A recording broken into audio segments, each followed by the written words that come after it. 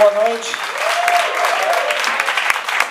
A gente vai fazer uma música agora do disco Brutal,